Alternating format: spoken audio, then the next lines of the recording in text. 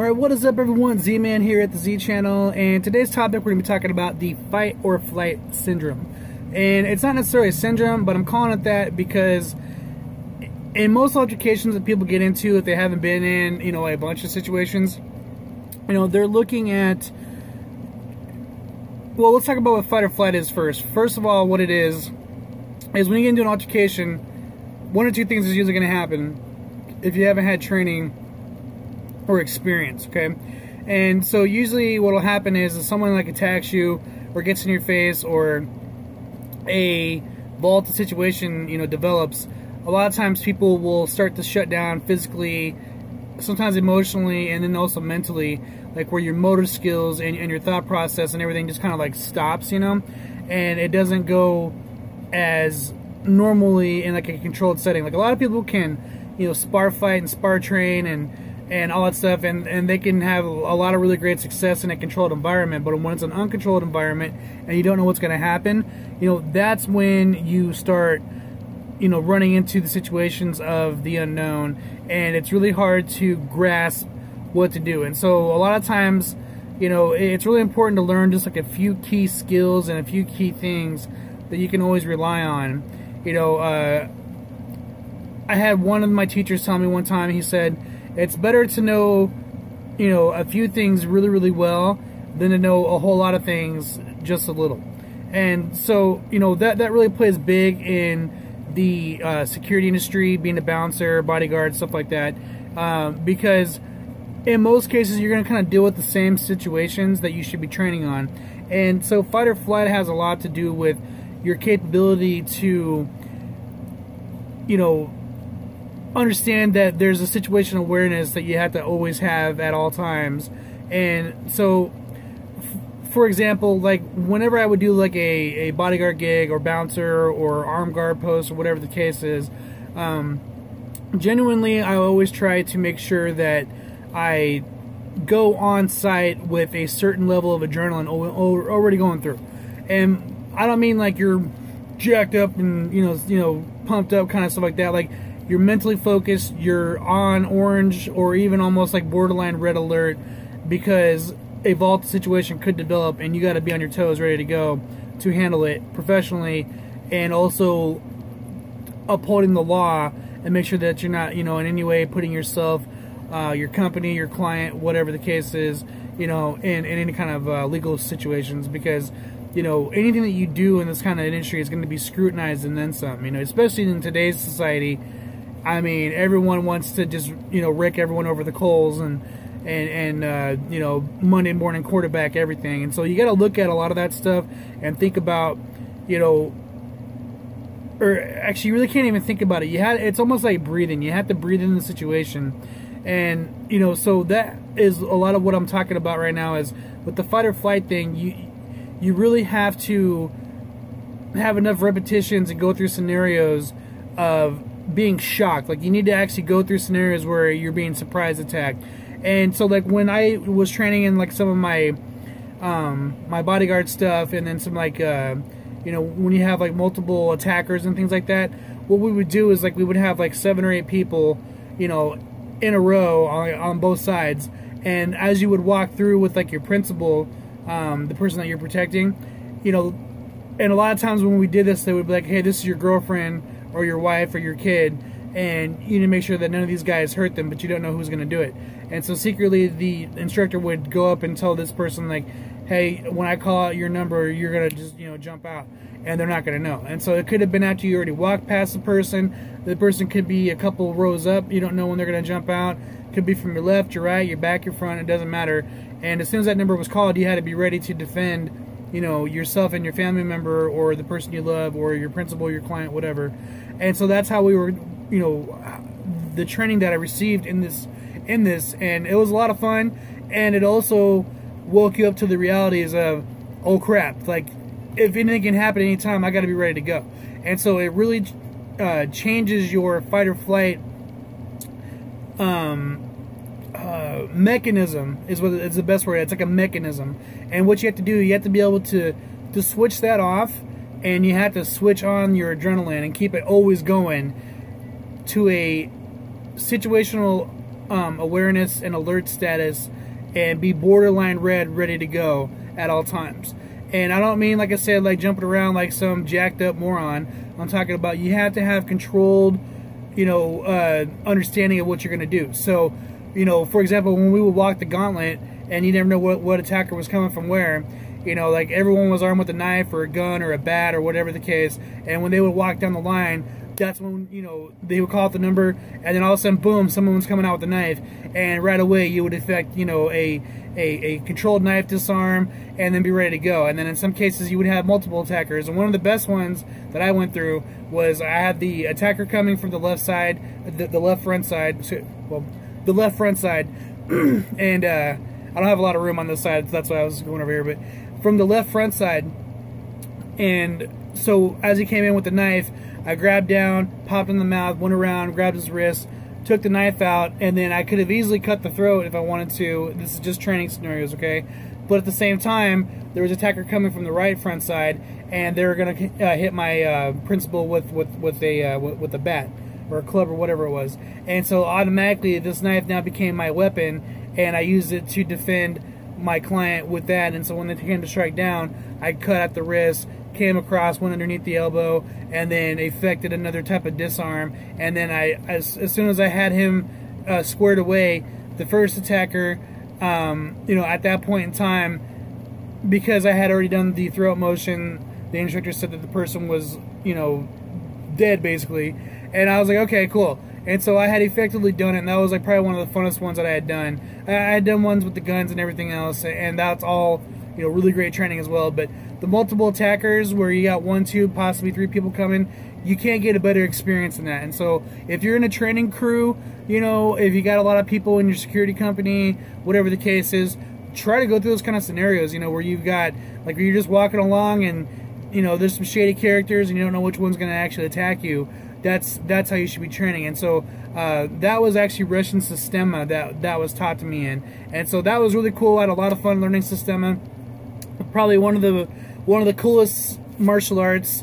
It encompasses everything, and you know I'll definitely be doing a big full review about all all my martial arts. I keep talking about it, and I keep putting it off, but mostly it's just because there's so many other videos I gotta I gotta do first, and you know once we really jump into this stuff, you guys are gonna be like just blown away. It, it, it's so much fun. There's a lot of things to go over.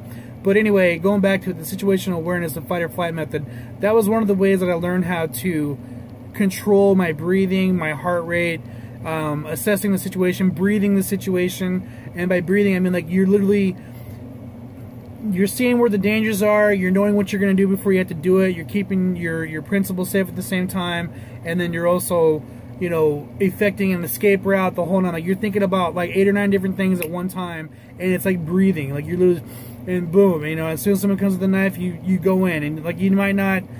It, it might be an unorthodox type of knife disarm you might just you know grab and you know knock the guy flat down whatever the case is you know and then in some cases it was just people trying to get a you know get an autograph and so that's what they would do is they would give us different situations where you know it looked like the person was going to do something wrong but really they were just you know like a happy fan you know what i mean so like uh, you went from a person that wanted to stab your client to a person that wanted to hey, I'm your biggest fan. I just need an autograph, and they would have a you know a piece of pen and, and a paper, you know, and and so that's how it worked out. And so that was a lot of fun training that, and you know, going through that experience and getting used to a different mindset of, you know, it's shoot, don't shoot, attack, don't attack, defend, don't offend, uh, defend, don't defend. I mean, and you know, it, it just really teaches you how to control that flight or flight switch.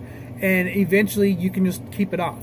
Because when you get to so many repetitions in the field, whether you're a door guy, a bodyguard, a security guard, you know, you get to the point where you're able to literally just keep your adrenaline switched on and you're ready to go. Like you're already thinking two or three steps ahead and you're assessing every situation. Like you're literally you know, processing everything and, in, a different mindset. You have to start thinking differently, and you have to process things differently than you ever had before. You know, um, I'll give you another example. One time when I was when I was a door guy, bouncer, um, I had a guy that was walking up, and he walked up the whole way. It was about a good, you know, 65 yards from the parking lot. He parked in the back area, and he started walking up, and he had his hand like this the whole time while he was walking up. And so to anyone else, looks like he's got a gun in his bag. And so as soon as he got to the front door, I was like, I don't know about this, you know, and I, I, I felt really, really weird. I really did. And as soon as he went to pull, I just went in, I snapped, I grabbed him, grabbed him by the by the chest, the arm, and everything, and I made sure that he couldn't deploy whatever he was going to deploy from the back. And I pinned him up against the door, and I was like, "What do you got in your hands? Oh my god!" You know, and then I put him over and I put him around the door, or I mean, I spun him around into the door and I pulled his back hand out and he was just reaching for his wallet. Now, I literally almost took this guy out. Like, I literally was like, what the hell? Because just the his look, his demeanor, everything, which goes to show you never judge a book by its cover, you know, and it was just one of those situations where it was like, you know, he walked up shady, like he was going to rob the place and it was like holy crap like this is really going down you know and so for me that was like it was an experience in itself because I was like, oh, you know, th this it could have been worse. I even told the guy, I was like, dude, you don't just come walking up like that with, you know, like like you're gonna pull a freaking gun at the front door of a place where we're, you know, we got a bunch of money at. You know what I mean? And so like that for me was a big eye opener in situational awareness. And you know, I remember the uh, the the the lady that was doing the the, the cashier at the front she was like, I can't believe that. I was like, I thought he had a gun too. And I was like, yeah, I know. It looked like he had a gun. And, you know, he was like, oh my God, I'm so sorry. I didn't even think about it. And, you know, we, we made nice. I ended up buying the guy a beer. You know, it wasn't a big deal. Um, but it was one of those like, you know, holy crap. And even the manager, he was like, dude, like what, what happened? And I was like, I thought he had a gun. Like literally, I thought he had a gun. And, you know, he was like, it was like, good job, but thank God you didn't hurt him. You know what I mean? Because if I would have hurt him, you know, I would have been under false pretenses on that, and I would have gotten in trouble, and you know, probably gotten sued and everything else. So it just goes to show you got to think before you do things. But then again, you never know, and you can't always, you know, go off the basis of, you know, are you absolutely sure this person isn't going to be a threat or a danger? You know what I mean? So think about that kind of stuff when you're getting into it. Um, you, you really got to think about your liability before, during, and after any situation. And, you know, in that case, I already knew what my liability was. It was this guy might try to shoot us, and it's I'm the first and only line of defense because if he's coming in to shoot the club up, there's a problem. You know what I mean? And so there was already uh, it was the uh, what was it, the Pulse or one of those nightclubs that got shut up. I was like, Neil, nah, not tonight, not on my watch, you know. And so they're like, he just he had that look, you know. And I even told him, like, dude, like you look, you're getting ready to come up here and just rob the place or shoot us up or something like that. And you know, so like I said, like we made nice. I bought him a beer, no big deal. But it was it was a really good eye opener. And then you know another night I had a situation where you know the guy actually pulled a knife and I laid this guy out. Like I literally put him on the ground, knocked him out. That was the discussion. There was no if rhyme or reason about it. You know, he he literally ate pavement. I think I probably nailed him about three or four times before he even knew what you know what happened. And you know, so that night I was really, um, what's the word I'm looking for? I was really nervous I was going to get in trouble because, you know, I laid him out really bad, but at the same time he had a knife and he was mad because he had been 86 before.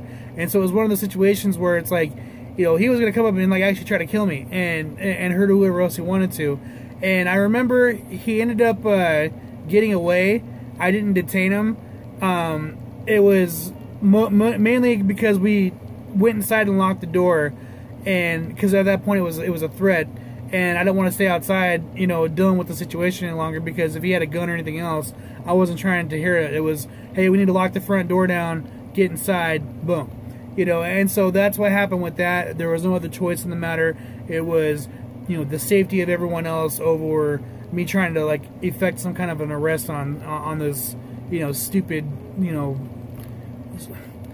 just some little gangbanger wannabe, basically, that thought he was, you know, uh, wrongfully kicked out. And it's like, dude, you got caught dealing drugs, you can't come in here no more. In a discussion, you know. And so, um, at the end of the day, it was the smartest thing that I did. You know, defending myself, first of all.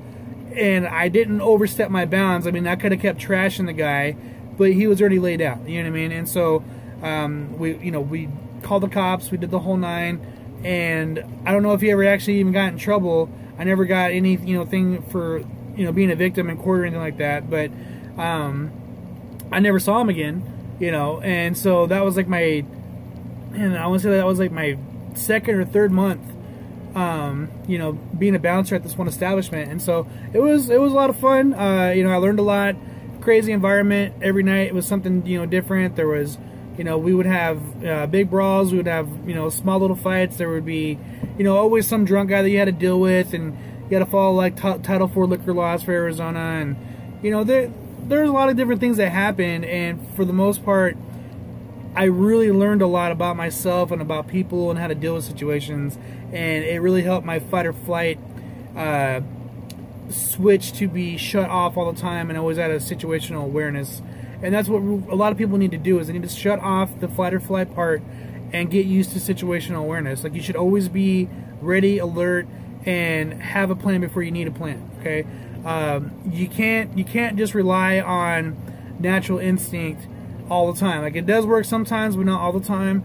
And so that's mostly the premise of this video is for people to realize that you know you got to train scenarios. You have to train with people.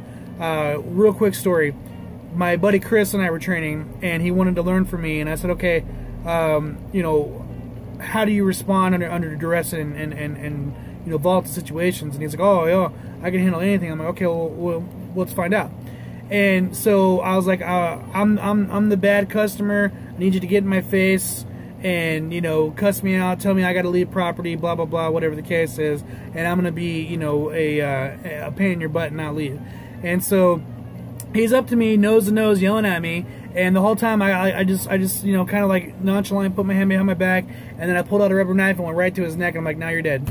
You see, and like it scared the crap out of him, and he actually went home. He didn't want to train with me no more because I scared the crap out of him because he thought I was actually going. And I was like, dude, like I would never hurt you. You're my training partner, but you know, and it was a rubber blade. It wasn't anything, you know, you couldn't cut anything with this thing, uh, even if you tried. And it just more kind of shocked him that he thought he was, you know, so badass, but he really wasn't. And you know, I wanted the same training too, like where you have to learn how to back up from people. You can't put yourself under duress or a situation where you're going to possibly get hurt. Keep a safe distance from people because you never know. Okay, and that was, you know, his biggest lesson that day was keep a safe distance, situational awareness, and he learned that his fight or flight, um, you know, wasn't really good. Because even if he had a fight or flight syndrome, I already had a knife to his, you know, a rubber knife to his throat and was like, here you go, now you're dead. Now what? You know, so that really uh, opened his eyes up, and we did train more after that. He ended up moving back to uh, Arkansas, but you know, he was he was a good buddy out here in Arizona, and I wish him well. Chris, if you're watching, you know, uh, I hope you're still training out there, bro. But anyway, um, it's just one of those things that just goes to show that you you can't just you know get into it with people and think, oh, I'm gonna be just fine. You know, you always got to think about your safety, the other people's safety, the person that you're dealing with safety, and then your liability before, during, and after. And so, fight or flight learn how to control it, learn how to harness your adrenaline, and learn about situational uh, awareness, and always be at red alert, borderline red alert. So talk about orange, I say if you're in my industry, you know, security, bouncer, bodyguard, whatever, you want to be right there at the line of red alert. So always have that adrenaline kind of going through you. Be ready to go. Be processing everything that you see. Check out everyone you know, uh, measure people up and down, figure out like if they're a threat or not, and then always remember that anything can happen, expect the unexpected. You, we've all heard that line before, and you know, just really think things through before you do them. Okay, that's the best advice I can give. Um, you know, but you have to be able to process it like that. So when I say think before you do things, I mean have a plan before you need a plan. And that's the honest God truth. You have to have a plan before you need a plan when you're under a volatile situation. So take that for what it's worth, and I'll be going over more material, material here real soon. Thanks for watching as always, the Z-Man at the Z channel. Please like, share, and subscribe, and I'll talk to you soon.